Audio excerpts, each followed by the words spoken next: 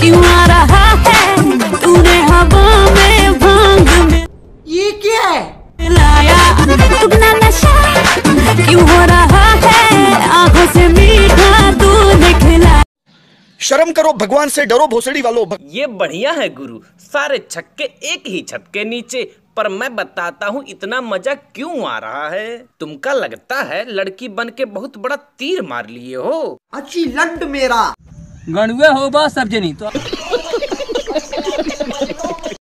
दिल ये